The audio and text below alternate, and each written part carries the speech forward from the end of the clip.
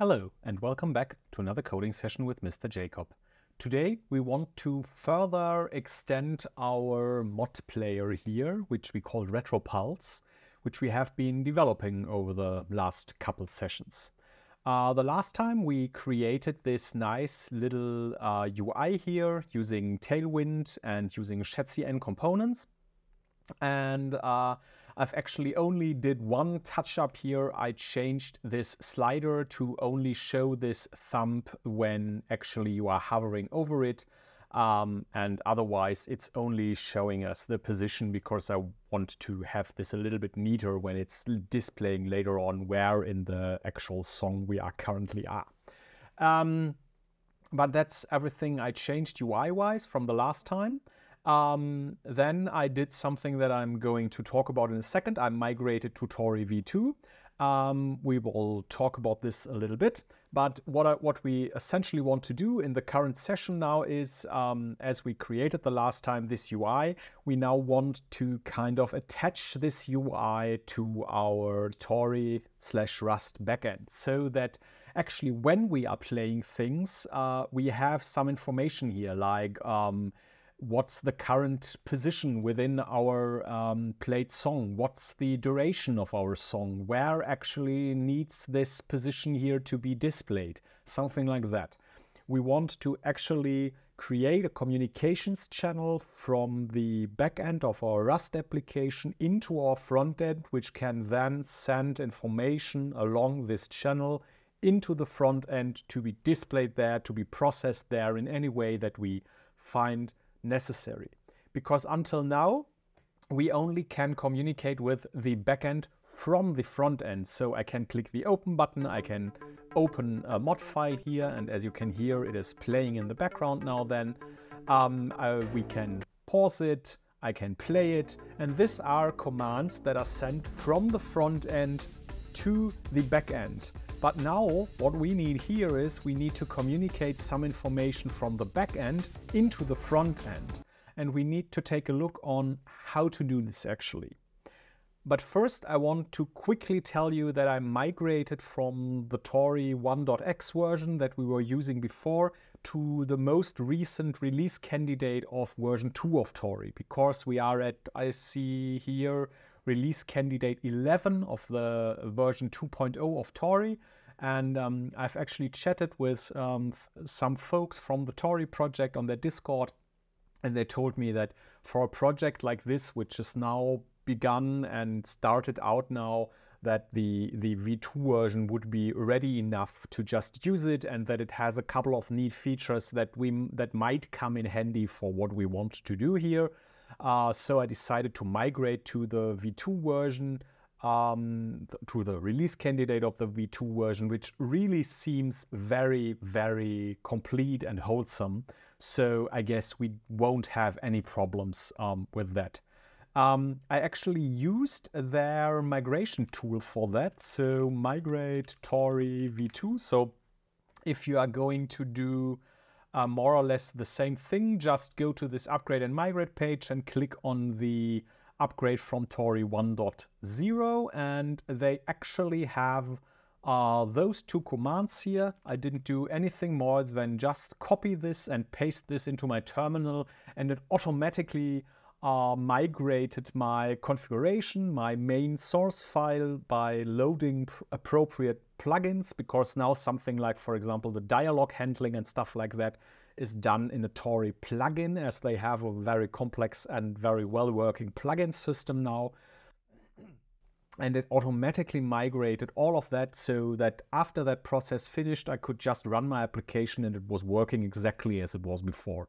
Um, of course, we have a quite little code base um, yet, so um, it, your, your, mileage might vary there. You might need to adapt something actually uh, manually if you are migrating a big project. But um, if you are starting now, I guess use Tauri v.2 uh, re release candidate, um, uh, v2 release candidate if there isn't any specific reason why you should not um, okay, so um, I migrated and it works out fine.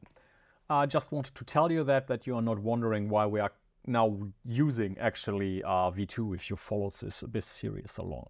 So now what, what do we want to do? Um, I actually already read some things or searched in this documentation and there was something uh, which caught my eye, which was this section here, which sounded like exactly what we wanted, calling the front end from Rust.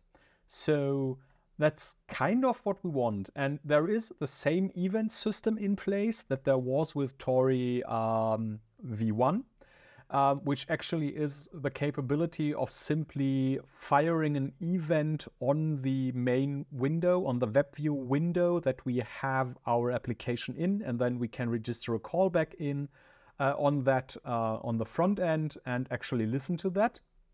Um, but there is another thing which caught my eye, which I really much liked, it is the possibility now to create, uh, where is it, um, typed channels. So what we can actually do is we can have a Tauri command just like we had before and it has an argument which is a channel with a specific type. This type needs to be serializable into JSON by serde and then we can actually send this channel data. And this channel kind of stays open and it is simply then used to to process this uh, uh, uh, it stays open as long as this um, object exists here as this um, thingy exists. And it is uh, then sent to the corresponding counterpart in our uh, front end, which then looks kind of like the same thing. We have a channel here, which we can type as well using TypeScript. And then we simply define such a new channel object here and we um, just put it into our invoke call there. So this on event thingy here is our channel. And beforehand, we can register this on message callback there, which is then essentially called every time the, uh, the Rust backend pushes something into that channel. And I guess that would be um, a really nice thing to to actually use um, if it's working. I have no idea. I haven't tried it before. Um, so for our case, where we uh, could implement something in order to simply subscribe to our player events, and then we could push all the data uh, into this channel to transport it to the front end. So I guess um, I want to simply try this out and then see how we are actually integrating this with our player because I guess it will be a little bit tricky um, uh, because our playback is happening in a separate thread to, to decouple it from everything else and we somehow need to transport the player information out of this thread into a place where we can send it then to the channel. But we will we will um, take a look at that when we are at the, when we are there when we need to to address this problem. Um, until that, I just want to see that we have this communications channel first. So I guess um, we we can just start doing that by simply creating a proper communications channel that we can actually register and deregister and subscribe and unsubscribe and do all the the the, the proper handling there um, and then go ahead and really send data through it. So I guess we are starting on the backend side. And on the backend side, we have our commands. So currently we have a Tauri command which is loading a module, one which is playing a module, and one which is pausing module. Um, and I guess we create a new one there. So um, if I understood the documentation correctly, you are doing this with a command as well. So we are creating a command here.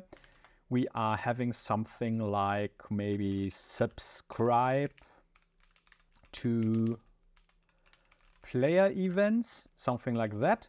And um, I guess we will need the player in there anyways, because we are somehow needing to communicate with it. So let's put it in there. We have it in our application state anyway, so it shouldn't be a problem.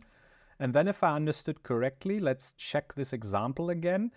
We are simply putting um, a Tauri IPC channel in here. It was Tauri IPC, wasn't it? Tauri, Tauri IPC channel, yes, exactly. We are putting an IPC channel in there with the type of what we actually want to put in there, which needs to be serializable by serde. So I guess we have something like a channel here, which we then call, uh, which, will, which is a Tauri IPC channel and I guess it will have a type like, I don't know, player event most likely.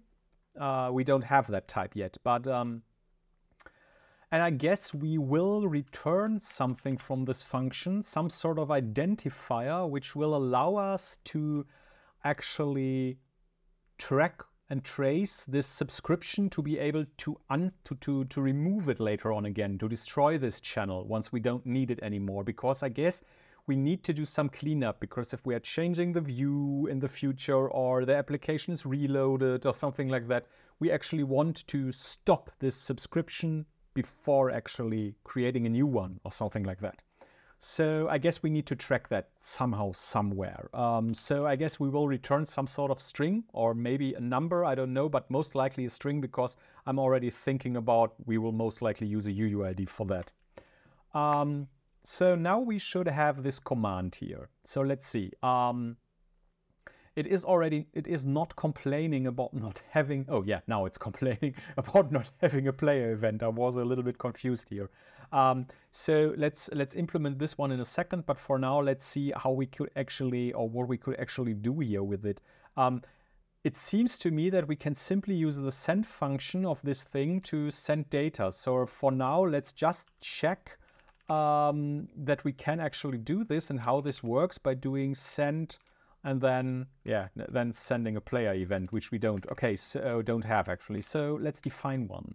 So I guess what we want is an enum called player event and maybe we could um, yeah what what would we have there? Something like maybe the the play state something like is it playing is it paused is it stopped something like that. Maybe we should um, uh, emit this first because that's that's something that we can actually easily emit, I guess. So um, maybe play state or something like that, or um, play state changed, or mm, yeah, how would we actually, or, or are this just events like playing? Yeah, I guess it's just it's just a player event called playing and um, paused. So currently we have these two states. We can be playing or we can uh, be paused. Yeah, I guess that's that's enough to test isn't it? So, um, so let's send this player event playing maybe just just for the for the sake of it to just see if this works and this and then we, we, we need to return some strings so let's just let's just return foobar into here so just for the sake of being uh, proper here with our re, re um, uh, uh, return code, so this doesn't work. Expected std string found what? Wait, channel send? Isn't this isn't this how this works? I thought this is so you call send and you put this in there and then you get a okay, so the trait-bound player event IPC response is not satisfied. The following other types implement serde serial. Ah, okay, I see. So, uh, yeah, player event isn't serializable yet. So, um, I guess we can derive that. So, player, uh, no, serialize. So, let's derive serde serialize for our player event. And now, is it working? Mm, IPC response not satisfied. I'm not sure that this is Oh, it's uh, it's building there. Okay, now it's that that seems to be fine actually. So um, I guess this will already work maybe. So let's um, let's actually go to our page TSX and let's see how this actually would work by just wait a second what what did just happen there oh yeah it was still running and it is um it is rebuilding every time we we change something. So I've just quit the um, the uh, the rebuilding process there. So um, I guess we can do something like use use effect here from React to call something uh, the moment this thing is mounted. Um, let's add this import here. And I guess we can then do something like um, how would this type actually look like? Let's let's maybe define that. That would be a player event. And did we actually specify how to serialize that? No, we did not.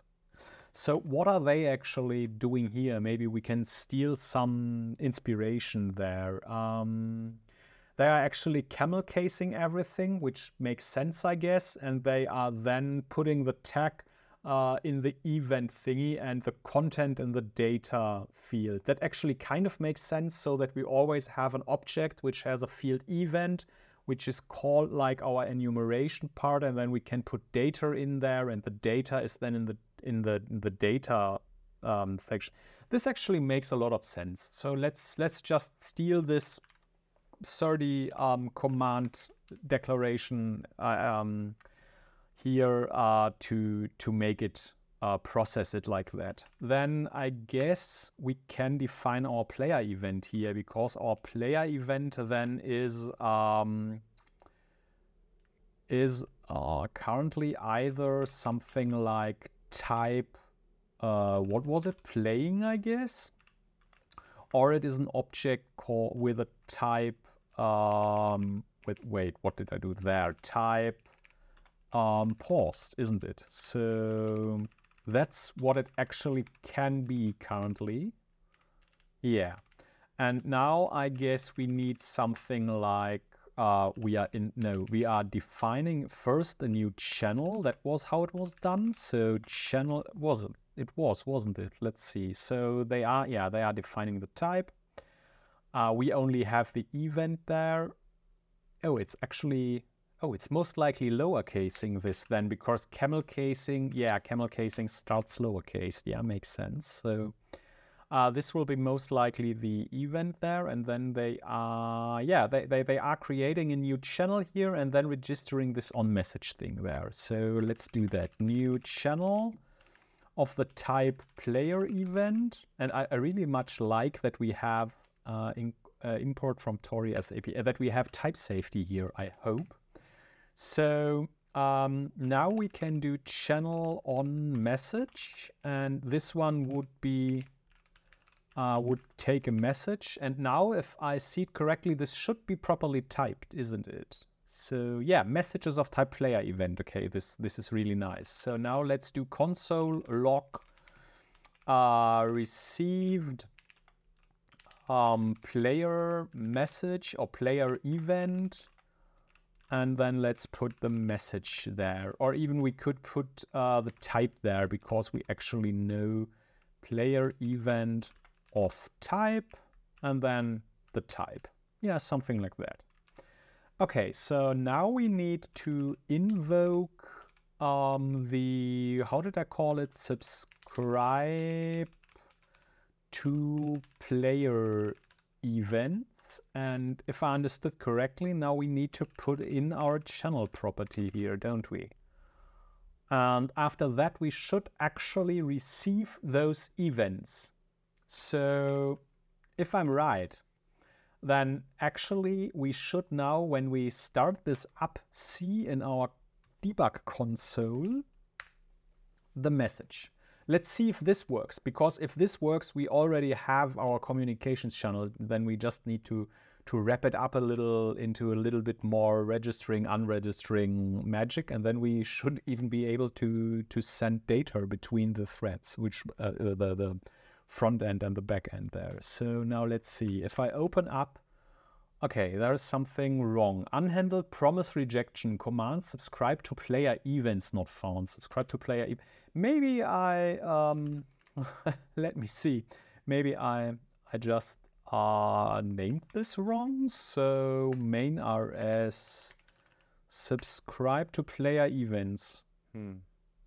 Oh, did I did I register this no, I did not. Of course not. Okay, so I need to register this command with um, uh, actually with this generate handler thingy here when uh, setting up the Tauri application so that it is registered to be called from the front end. Okay, so now let's see. Rebuilding here. So let's see if this now works as it should. Okay, so I made something break there. Um, okay, what did I do there? Uh, is not Tauri runtime command arg. Some some something is not right here. Um, something is not right here. Where is it? Player there. Okay, so it seems that this macro cannot be executed. The Tauri bound player event command arg is not satisfied. The trade command arg R is implemented for channel T send. Error originated. Wait, what? Error originated from macro call here. Yeah, that's okay. So the trade bound is not satisfied. The trade is implemented Hmm. Okay, why? It, it seems to not be able to register this thing. I guess it has to do with our channel. Let's just comment this out and let's see if it can then actually um, if it can then actually register it. Okay, if we go away, if we are uh, if we comment this channel thingy here out, it works. So it has something to do with our channel. So let's let's take a look at the uh, example again. Okay, so they are putting an app handle in here, but we don't need that. They are putting another value uh, in here, and then they are just putting the channel in here. And the channel is, uh, the, the type is just an enum, as it is with what we are doing there. Um, it is serialized. No, it is they. Hmm. They derive clone there. Maybe maybe this thing needs to be clonable. Let's let's just for the for for the sake of it test this. Cl okay. Okay, so we have to remember that the data types need to be clonable and serializable for it uh, for them to be used within a channel. Okay, so learned something again, I guess. Uh, yeah. Okay, so it started again. So let's open up the console and we received player event of type undefined. Wait, what?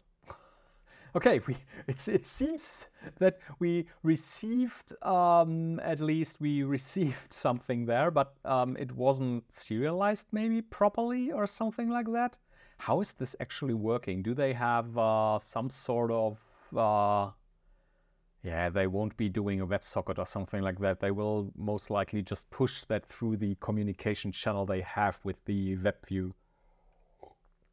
Okay, so um, I guess then let's see, maybe there we did something wrong there um, with the push data. So uh, we have we are sending player event playing here and the player event is camel case tag event content data. So it should actually put this in an event tag. Maybe I did something wrong here in the logger function.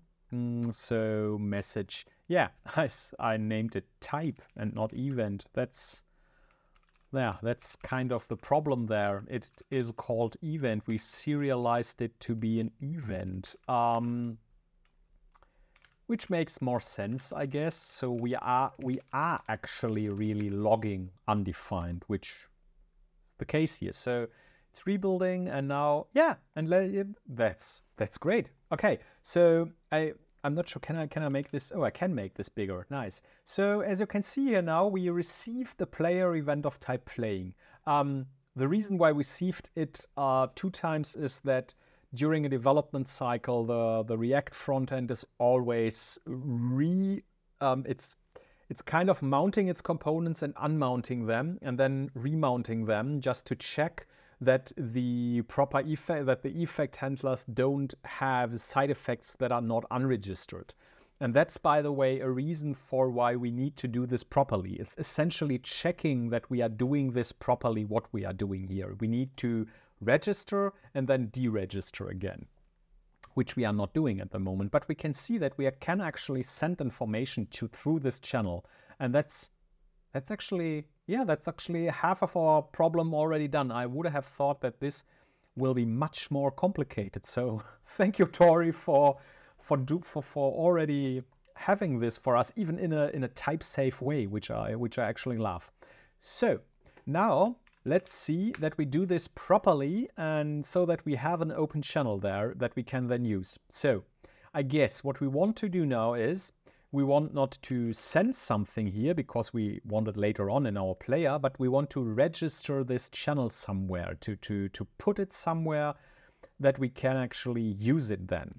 So I guess what we want to do is for now um, register this, yeah, I guess on our player because our player later on needs the list of subscribed of, subscribers. There may be more than one. Um, to handle them. Once an event is has popped up there, it needs to be transported into those channels. Yeah, okay, so I guess, oh, I already, again, stopped, uh, didn't stop the, the worker there, the, the, the, uh, the runner there that recompiles every time we change something. So let's see, I guess we can do something like on the player, subscribe um, to events. I guess. And we will put the channel in there. And then this thing could or should actually return some sort of identifier. Yeah, so I guess we are simply uh, giving the player the opportunity to do that. But as it is a mutex, we of course need to acquire the mutex lock first and unwrap that. And then, yeah, there isn't such a method. That absolutely and fully makes sense. So let's implement that one. So our player now leads a new method there um, and it needs a new public method. Do we? There, there we have the public methods. So let's do a pub fn um, subscribe to, oh, is it, does it need to be public? Uh, I'm not sure. Currently, Currently not, I guess, but um, we might move the player later on. So the, the, API of the player, in the sense of the API of the player, this should be public. So subscribe to events and we put, um, I guess, a mutable self in there. And I guess we put a channel in there, which then is, it did it already? Yeah, it already suggested that. So the channels should, the, the Tauri channel with the player event there. Yeah, that's exactly what I want and I want to return a string, which is our identifier. Yeah, that makes sense. Okay, so um, okay, so now let's let's think about that. I guess we need to store those events somewhere, and I guess I want to store them in a hash map with the string identifier. So uh, let's create one, I guess. Um, where is our player? there player. So um, event or um, subscribe event channels subscribed subscribers. Let's just call uh, subscribers. The, the, the, the thing here subscribers and it will be a hash map which will map from this string identifier that we will need to generate to a Tauri IPC channel uh, 2n, which takes um, a player event to transport it then. And yeah, um, we need, of course, to import the... No, I didn't want to make this smaller. I just wanted to import the hash map, please. Thank you.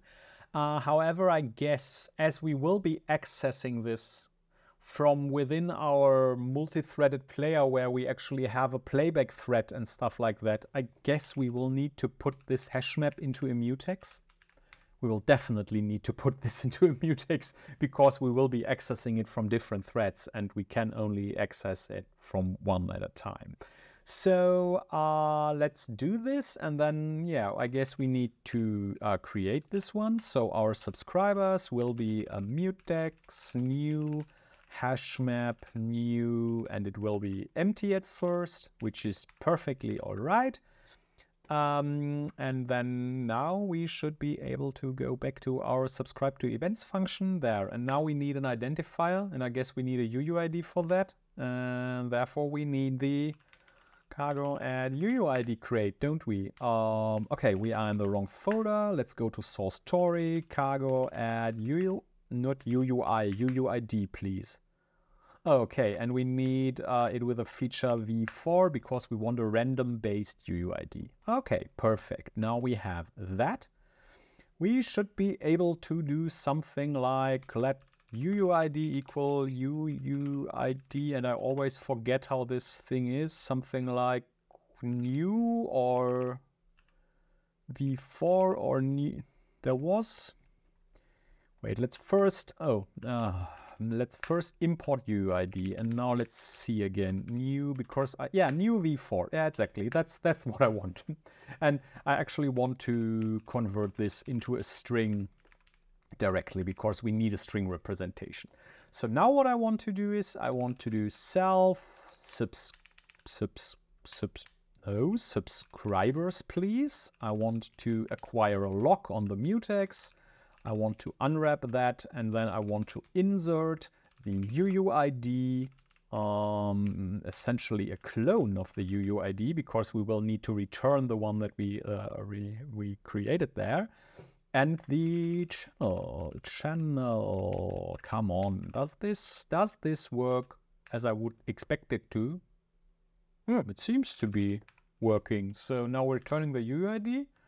Okay, so we can simply put this channel into this subscriber hash map. Perfect. Okay, so I guess we can implement the unsubscribe then here as well, because we will need it in a second. So unsubscribe uh, from events, and I guess this one then takes the ID or UUID, which is a string and it returns a boolean telling us if it could could remove the subscriber or not. So if it was there or not. So therefore we are actually getting the mutex here. Yeah. And then I think it is called remove. Yeah, exactly. So remove and remove uh, remove the key from the returning the value at the key if the key was previously in the map. Nice. So, and otherwise it will return, it's returning an optional? Yeah, it's returning an optional. Perfect. So what we can do here actually is we put the UUID in here and we simply do an is sum here. So if this one if, if it's not in the map, then it simply will return none and we will return false in the end. So, and if it's in the map, it is removed and we will return true. Okay, nice. So we already have our unsubscribe. Um, now, where was our subscribe to player events thingy function? Okay, so actually we are now doing this here. So we need another Tauri command. We need, I guess, unsubscribe from player events, I guess. And I guess this one will take an ID, which is a string, and it will return a bool. Come on. And it more or less just calls this thing with the given ID and returns its uh, return value. And then we will need to register this one as well. So unsubscribe from player events. And if I would be able to write this correctly, unsubscribe from player events, it would be even nicer. So uh, by the way, I hope you are not unsubscribing, but maybe even subscribing to my channel if you haven't done already. So please subscribe, give it, give the video a thumbs up if you like it so far. Thank you. okay, uh, so now we actually should have those methods. So let's go back to our page TSX and let's see where were we. Um, where is our, there is our use effect function. So what we now should do here is we create this channel, okay, fine. Then we invoke subscribe to player events and now we get back the value. But this is an asynchronous call, isn't it? Yeah, it's returning a promise. That's kind of a problem because use effect actually strictly is as uh, is synchronous. Um, the the problem here to to just um, sum it up a little is usually you can do something like within the use effect function you can return a function and this function is actually called uh, once this thing is either run again due to a change of the dependencies, which we actually didn't supply here. So usually you have here a dependency like, for example, a state or something like that. And each time the state is changed, this effect is called again because the effect is then to um, assumed to be influenced by the state. We only want to, to render this once uh, when the component is actually created. So we are using use effect here and um, just using this empty uh, dependency array here. But uh, once the component is uh, recreated or unmounted or stuff like that, this function here is actually called, which is the finalizer or destructor kind of of this use effect. So it is called then to clean up. And what we want to do here actually is we would like to unsubscribe here. However, this one is actually asynchronous. So how would we handle that? Um, do we actually need the return value of this one at any other point where we no we don't know we don't need it we only need it in the in the moment we want to unregister this okay so we can do something like this this should actually work this should be the subscription promise so I'm not awaiting here or doing anything else. I'm just storing the promise here and then uh, in the unregistering, um, I'm doing something like subscription promise uh, then. So once it is finished, please take the um, subscription ID, or it's, let's just call it ID, then I can take it for the other invoke call there. And then I'm calling invoke again with unsubscribe uh, from player events. And then I'm giving it the ID.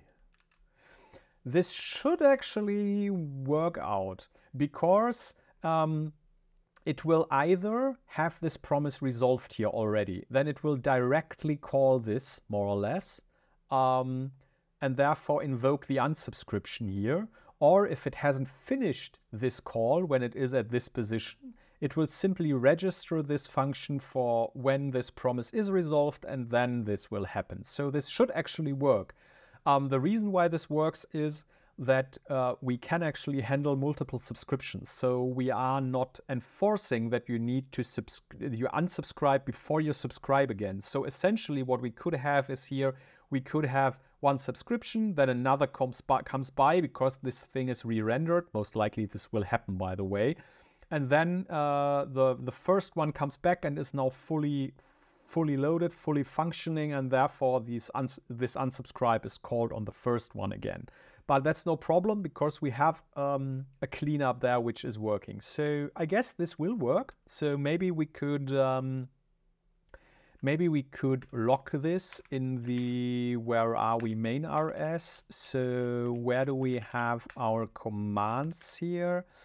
Uh, so maybe lock this here, something like um, eprint line uh, register um, subscribing subscribing to player events, something like that.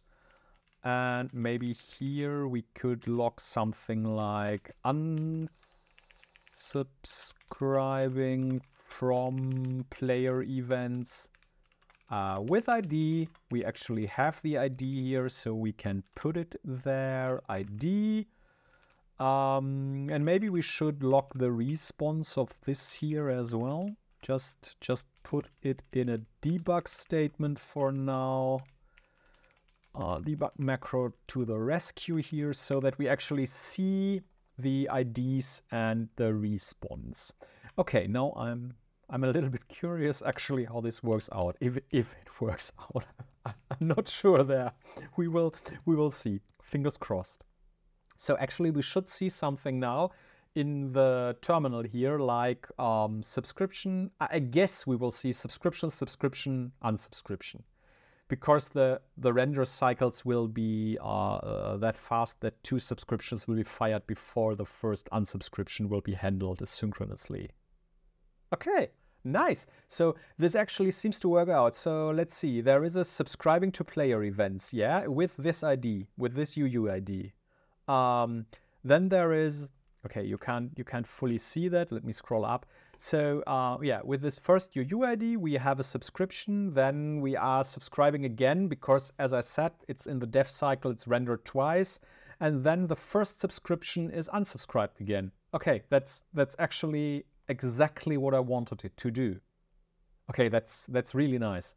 That's re okay. That's that's really cool. So this is actually working. Um, by the way, I can quickly show you that um, if it's not in dev mode, um, then this rendering cycle will not happen twice. Uh, uh, let me show you.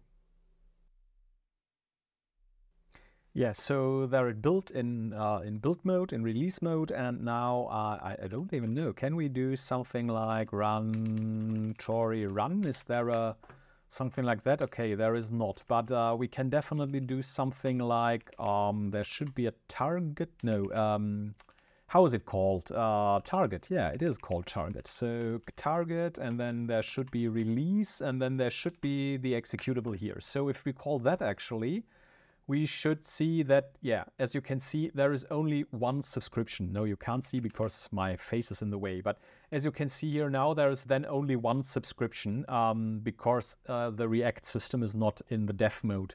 So it actually works. Um, like I said, it's only in dev mode doing that.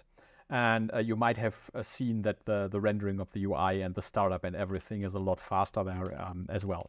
So um, let's go back into the usual folder here and let's uh, nevertheless uh, take a look at what we want to do next. Um, okay, we wanted now we have now this communications channel, I guess. So that's that's really nice. Now we need to to put some information in there from our uh, player side. So let's take a look actually where our play thread is. There it is. So this is actually, I need, I guess I will uh, refactor this um, uh, between either in the next session or between the next session to be just in different different files and stuff like that because we have a lot too much in our main RS by now.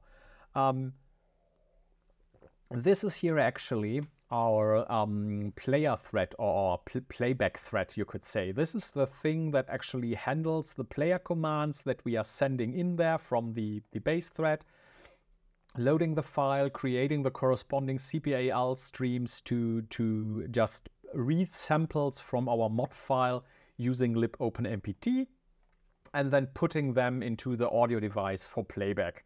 So um, that's actually handled in here, and we will need to streamline and properly handle this um, a little bit more in the future. But nevertheless, we have the, the essential data, that read data feedback function here, that's actually what's creating the sample data and putting it into our CPAL output stream. Um, and it's handling the playing and the pausing and all that kind of stuff.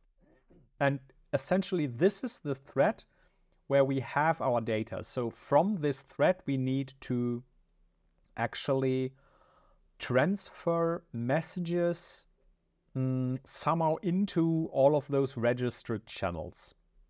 And I'm just thinking about how we might do that. Because I guess I don't want to directly send that from this thread here, but maybe through an intermediary. Because um, I don't actually, I, I don't know how much um, time it takes to serialize all this information and send it to the Tauri frontend. So I guess I want to just from this channel here because it, it needs to, to handle all the playing and stuff. Um, I just want to maybe push the information out through another MPSC channel. So within our Rust Tauri backend there, the same communications, uh, the, the same way that we are communicate communicating already with our playback thread here uh, which is which simply has a receiver where information is pushed in. So you can see that when you, for example, tell it, tell the player to load something, it simply uses the uh, a sender, uh, a channel, which is going into this playback thread to, to push a command in there, which tells it to load the file. And we could actually do the same thing, but backwards, so that the playback thread has a MPSC sender as well, which it can use to send events out. And then the player itself can somehow handle those events and may redirect them into the Tauri channel or not. that actually makes kind of sense. So this way we would be able to process them within the Rust code itself as well, should we need to. Yeah, okay. I guess that makes sense. Let's let's first do that and then let's push those um, into the channel to the front end there. So I guess then we need to rename a couple of things. So now we have not, uh, we will have not the only this sender here, but this is actually, I guess, a playback sender. So um, that we actually have a way there of um, sending something into the playback thread. This will then be the playback join handle for now. Yeah, just, just to make sure that they are properly identified. Yeah, that makes sense. So I guess now we need something like um, maybe an event sender then? No, the event sender would be part of the of the um, the playback thread. How would we actually pass on the information? I guess we would have another thread for that, most likely. yeah, I guess so, because something needs to read then from this channel and then act on incoming messages. Yeah, so I guess we will we will have another thread here. So let's create um, maybe an events join handle. Um, and this will be an option. Join handle with an empty uh, uh, empty tuple there as well as data type. And uh, yeah that will be somewhere there. And we will need to have this here as well. So this will be an events join handle which is none uh, when we start. And I guess this will now be spawn playback thread. Let's rename that. And I guess we will need something like spawn event thread as well, because we need another thread there. Yeah, I guess so. So um, fn spawn event thread, exactly, mutable self, and it will steal a little bit of code here, I guess. So this will be the even something something join handle and we need to uh, spawn this here. For now it doesn't do anything and now I guess we need we need in this thread we need more or less the same as in the other. We need a um, uh, we need a loop here. So something like a receive loop.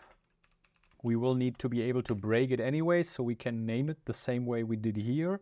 And then we are we need some sort of receiver actually that we are receiving data from but I guess we are not matching that because we don't need to decide on that. We only need to take the event uh, and pass it on. So we will kind of need, we will see in a second where we get this receiver and how we need to wire this up. Just trying to get my, um, to get the logic clear here.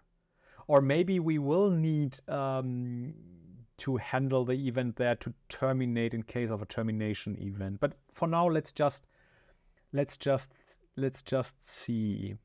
Mm, okay, we would need to have this event and then pass it on to um, to pass it on actually to our uh, hash map here that we have. The problem is that the hash map we can't access. Ah, where were we now? Damn. Spawn there. Uh, the hash map we can't access within this different thread. Um, so we, I guess we would need to put the hash map. I already put it into a mutex, but I guess we will need to put it into an arc as well. Mm -hmm. Okay, let's let's do this in a second. Let's for now put um, a to do here. Um, pass event on to all subscribed uh, Tauri channels, something like that. Yeah.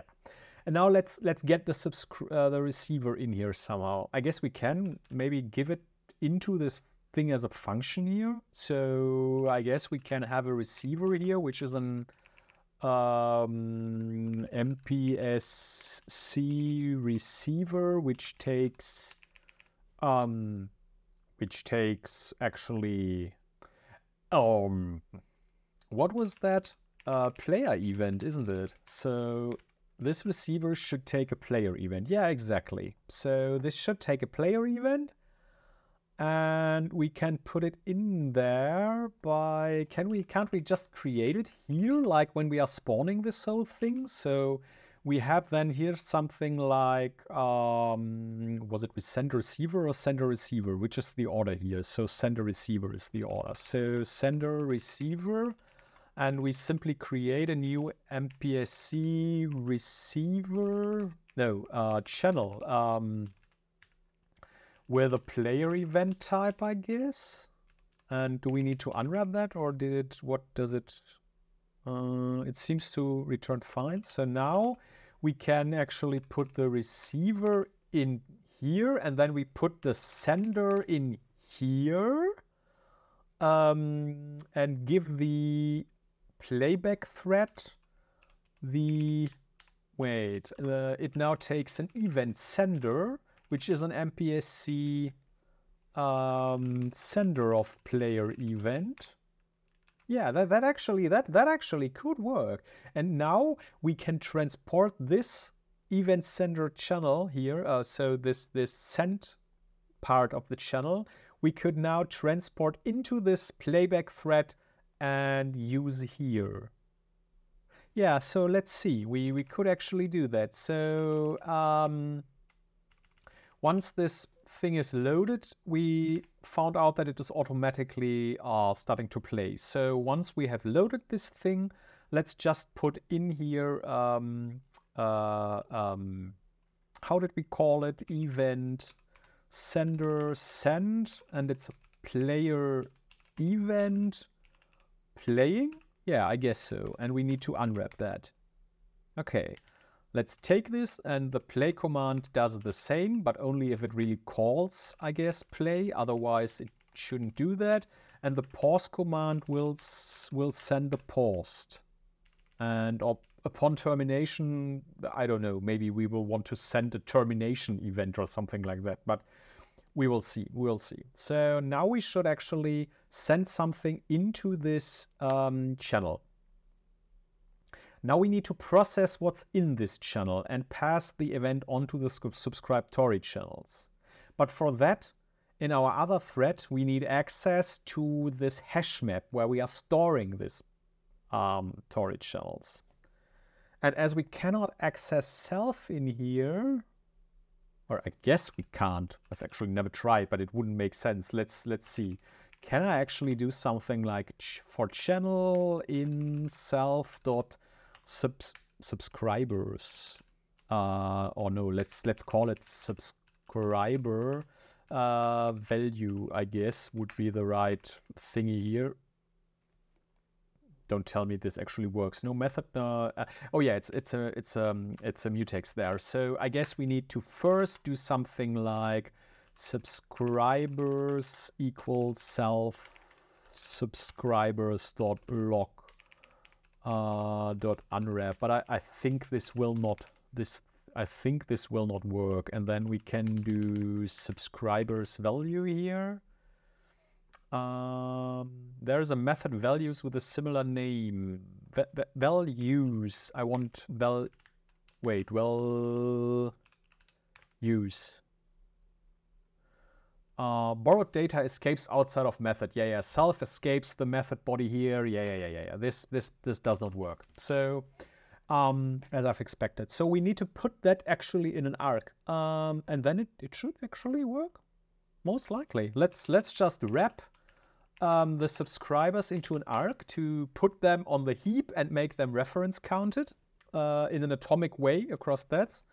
Uh, so this should actually then maybe work. We will see. We will see. So we now have an arc and there is a mutex in there. And now I should actually be able to do something like let subscribers equal self subscribers dot clone. I should actually be able to clone or to, to get a new reference, a reference counted reference to this. And this I should be, this reference I should then be able to move into this thread.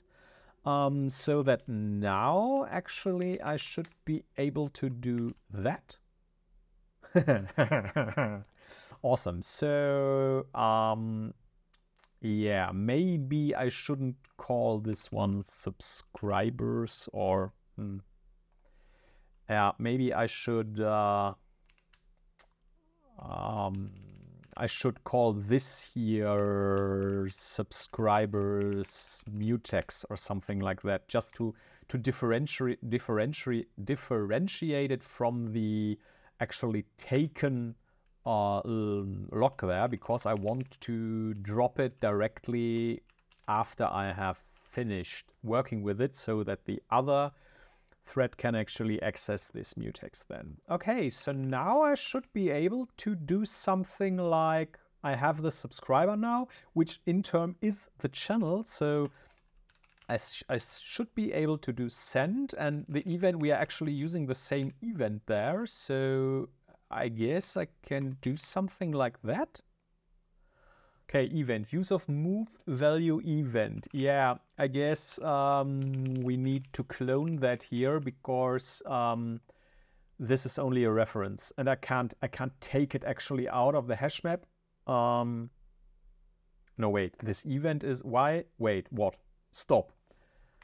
What is it what is it complaining about? It wasn't complaining about the subscriber. I would have thought it complains about the subscriber. So why is it actually complaining about event? Use of move value. Value moved here in previous iteration of loop. Oh, yeah. Okay, that makes sense because we need, yeah, we definitely need to clone this event because we need to send it to, uh, we need to send it out to every of the subscribers. Or can we actually give it a reference here? No. No, no, no. It was, it wants, yeah, it wants a full-blown event. So we are simply duplicating this thing um, as many times as it needs, this, it needs it because we might have more than one subscriber function. Um, yeah, I guess actually, I guess actually we might now be able to to send and see those those events that we already put there. So yeah, let's, I guess let's try it. Let's try it. So Tauri def, let's see. Okay, so we have subscribed successfully. So let's see, where is our console? Uh, there's nothing in our console, so let's open something. Actually, it should now tell us. awesome! So if I press now pause, paused, play, paused, play. Ladies and gentlemen, we have successfully implemented a communications channel between our playback thread and the front end here. okay, that's uh, that's quite awesome. So now we should actually be able to uh, to transfer information like that um, if there is something in, and I hope there is in libopenmpt to to actually retrieve this information. Let's see um, if we need to to count um, samples here that we provided already. I don't think that we will do it in this session, but um, let's see. Let's see. Let's open up the libopenmpt. Uh, no, that wasn't. I didn't want to print the page. I wanted to do something like openmpt or libopenmpt. Uh, and there we are. There's the documentation, lib, and where actually is this CAPI? There, lib open MPTC. That's actually what I was um, searching for. There is there are all the functions. So let's see. Is there something like duration something something? OpenMPT module get duration seconds. Okay, what does this actually do? It provides a double. Oh, nice. It provides a 64-bit floating point. Yeah, we can use that, and it, it seems to be in seconds and approximate song duration. Perfect. So I guess let's do that first. Um, I guess let's copy this name here. and I guess it will, yeah, it will take an OpenMPT module. So um, where's our, we have something like struct module. Wait. Struct mod, mod, module there. Uh, this is actually the thing that handles the um, uh, the OpenMPT module handle for us. So this this C handle of the sys crate there. And this is actually what reads the samples. So I guess we are implementing now something like uh, the function was called get duration seconds. So I guess we call it the same way. So duration seconds. Um, and it's an fn and it takes just the self and it will return an f64, I guess. And then we most likely want to do something like unsafe because we are calling into our lib openmpt sys and then the copied the copied method name that I just copied from the documentation and we will put self how did we call it? Self self self self handle self handle in it. And this one returns an f64 okay so this should actually be a method which allows us to get the duration. So is there something to is there, is there something to get the playback something like playback position or something like that? Uh, position set position order, set position seconds, set, set, set, get. Get position seconds. Wait. Get current song position. Okay. In seconds. The same double. Okay. Okay, let's let's see if this actually if this actually works. That would be awesome. Get position seconds. It takes a self as well and it returns an F64, I guess. Come on and it will do an unsafe call as well because we are now calling lib openmpt sys open I did copy it, didn't I? Yeah, get position and self-handle into that, and it should return an F64. Okay, so let's format. And now we might be able to retrieve this position. So um, I guess we need a new player event. Um, something like uh, position changed maybe or just position update? Position update. Why not position update? And i guess position update always gets a position which is an f64 and a duration which is an f64 then. So i guess that makes the handling for us easier maybe? Maybe we will want to separate that in the future, but for now, let's see. So now we, we actually have a player event here. Um, now we need to to send it somewhere within our player. So where are we actually playing this? Uh, where could we... We now need to call this thing every time we are advancing. So I guess we could do it here, even though this might not be the the right place for it because this function is called every time we are reading a couple of samples. So I guess it would be called way too much. So this would be hell imper, imperf uh, uh, hell unperformant, imperformant, or or how you might call it. Um, but I guess we can we can try. So let's maybe do something like um, we should actually have our, how was it called, event sender there and we can send a player event of type position update and there is this position and this position would then be mod handle dot get position seconds and duration would be mod handle um, mod, mod handle get duration seconds. This will be most likely inefficient as hell because um, we are always retrieving that, but let's for now see if it even works. I have no idea. So uh, let's format that. Okay, there is now something. Use of move value event sender. Oh, oh yeah. Yeah, yeah, yeah, because we can't move the sender into this. We cannot move the sender into this um, method here. Can I actually use it as a reference? No. Um, can I put it into an arc? Maybe. Could I do that? Let's see if I can do that.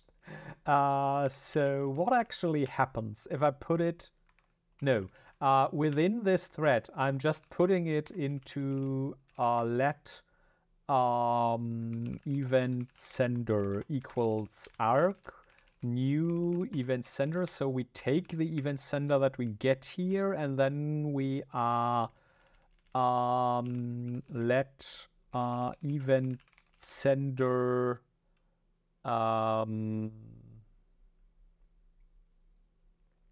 event sender how do we call it actually reader fn or event sender for reader uh, is an event sender clone.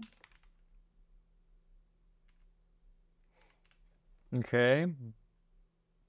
Borrow of move value event sender. Value borrowed here after wait is this is this a problem? Because I didn't tell it here that uh, event sender should be wait can't I do something like can I can't I just put this here into its own scope or something like that and then call this event sender here and simply clone the event sender and it only is in here now a, um, yeah an Arc uh, um, another reference reference counted reference to this thing.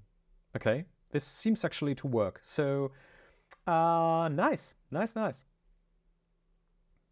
Um yeah so I guess uh, we are logging that, but we are not logging we are not logging the data yet, and we need to adapt our type in the JavaScript. So where actually is here our event, player event? There we are, because now we have another type there. We have an event um, position. Was it called position update or position updated? Um, position update position. It should be called position updated, I guess. So let's rename this quickly. Uh, let's go into our JavaScript and do position updated here. And it should now have a data tag as well, which should have a position, which is a number. And it should have a duration, which is a number. Um, and let's let's reformat that. We can't because we have done some something wrong there. Now let's reformat. Okay. So that's actually quite nicely reformatted there. That is, that is our uh, possible player events now. And now we are of type, and let's do another console log. Uh, and let's just do not a console log, but a console. What what what was it? It is there is another console call there that I already forget. That is is it dir? I guess it is dir, um, which prints the um, the given information in a nice nice manner there. Uh, uh, so data, or we could actually use table maybe. Message data. So that's oh yeah, because it might not be there actually. Okay, so if message uh, data, so if there is actually data, um, that's not working out as well because we then need to check our message. Hmm. Okay, so if message event equals um, position updated, then we can actually access the data because then it is there. Okay, that makes actually sense. So yeah, let's let's see actually how this uh, or what what kind of data this prints, if it does even, if this works, or if it crashes or implodes, or I have no idea actually.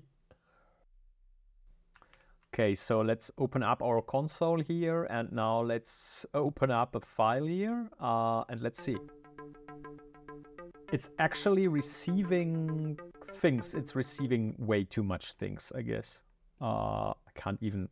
Is this a problem with the scaling that I did there or because I made it so big? No, it's it's just it did it wasn't able to it wasn't able to render this quickly. So uh, because we are sending a lot and a lot and a lot and a lot of updates.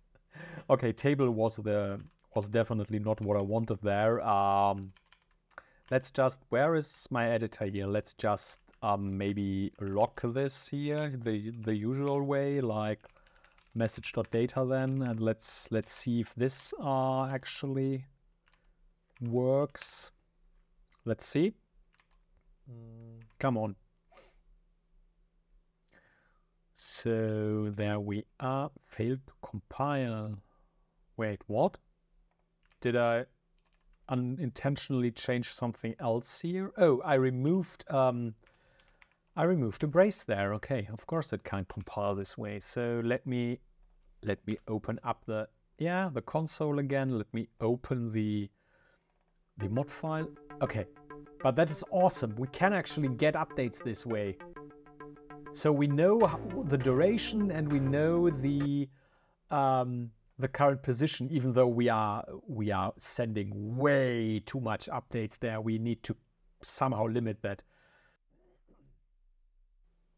But let's let's work with this for now to to make this um, this uh, scrubber here and the the timers actually work so that we have something as the the the final thing in this video because now we have this communication channel you can we can send it through and then later on we will take care of optimizing that and sending less messages because I guess this will be slow as hell and eat up a lot of processing power that it don't needs to eat up. So uh, nevertheless, let's see. We we now have this this information. That's that's actually really I love that. So um, let's maybe not lock those messages anymore. Let's maybe do something like switch uh, message event here and let's do something with um, if the message event is something like position updated, then we want to do something special and the default would be to just lock the lock the thing, maybe even, yeah, uh, that would be the default. And if the position updated, we will do things in a second. So um, actually, I guess what we need here then is we need to store this some somewhere in a state so that we can actually use it for rendering. So let's quickly do that. So const position, no, uh, const position set position uh, is use uh, state and it is zero by default and let's import use state from React and let's use set duration, uh, set, saturation and duration as a state, use state, which will be zero by default as well, I guess. Okay. So now when we get a position update, we can do something like set position uh, or set, maybe we'll set the duration first and to set duration, um, we want to put message dot data dot duration in there and set position is message dot data dot position. Yeah, I guess so. So we just put the data into the state and now we can use the state for the scrubber. Where is our seeker? Here, there is. Um, I guess we are not using default value anymore, but value. And I guess we are just putting in there now the position, but I guess we need to, no, that's not, that's not how it's done in JavaScript. It's done with math round our position. So we are rounding this and the maximum actually then will be math round duration, I guess. Yeah, that makes sense. Sense. The step will be one because we are uh, going in one second intervals there. Uh, okay, now we need a way to display this. I guess we need a function to format our time. So format seconds. Let's do, uh, let's create, hmm, how did I, I don't know, remove that again. From its seconds, it will be a function that takes the seconds, uh, which are a number, and it will return um, a string. So let's create that. First of all, I guess we need to uh, to round the seconds. So math round seconds. And then we need um, the second part. So const, um, yeah, let's just call it S, will be the rounded value modulo 60, I guess, because we want only the part that is still there when we have thrown the minutes away. Yeah, that should make sense. And then we need the minutes, which would be rounded divided by 60. However, we need to remove the floating point part here uh, because this is still a floating point number and no integer. And now that we have that, we actually need to, to put it into a string, which we need to pad. So we should do something like return. Let's do a template literal here. And the first part will be something like the string version of the minutes pad start, I guess it is. Yeah, and then it's max length fill string.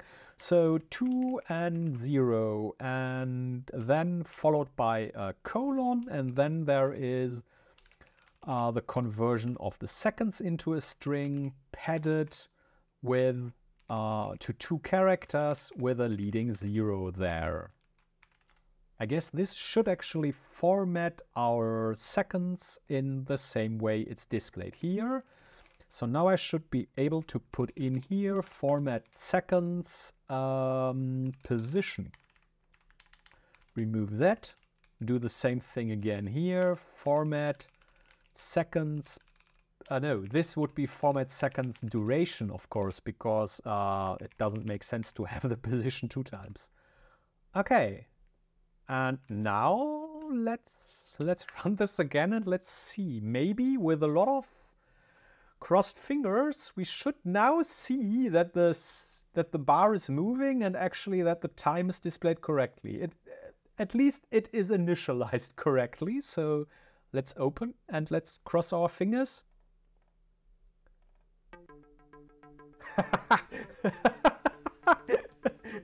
awesome! it's working. We we have player feedback in here. So uh, we have been told by the system that the song is three minutes and thir um, and and uh, 36 seconds long, and that it's currently at position of uh, 22, 23, 24, and so on seconds. And that's awesome. That's absolutely awesome. We of course need to implement the jumping around and stuff like that, but now we have actually a proper feedback channel. Let me quickly check how many um, uh, CPU cycles this is actually burning. So it's now taking 12, 12 something. Okay, um, the last time we used this player, it was at like 1 to 2%. So what we are doing there with this constant updates and I guess um, refetching this data and calling into the libopenMPT library every, I don't know, couple of milliseconds there isn't performant at all and we need to definitely optimize that and do this at another position of our player.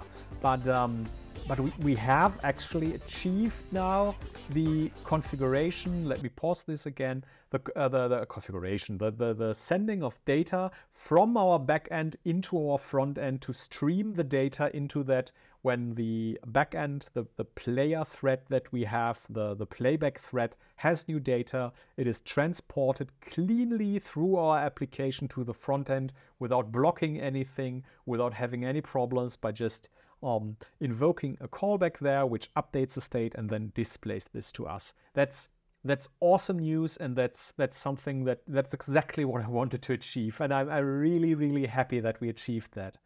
And yeah, I've, I've learned a lot in this session today. I've learned a lot about Tauri. I've learned a lot about this communication stuff. I've again learned some things about threads and so on in Rust, which I like very much um, that I've done that. And um, yeah, I, I, I guess we are there for now where we wanted to be, even though it's a session that is, yeah, a couple of minutes longer than it usually is. But I think it was worth it. So um, yeah, if you liked this session as well, please give it a thumbs up if you stayed until this point. Please uh, subscribe to the channel. And um, if you have any questions or any comments, please write me, leave me a comment on YouTube or something like that, or contact me any other way. I'm always happy to receive your feedback. So um, yeah, again, I hope you enjoyed this one as much as I did, and I hope to see you in the next one. Bye.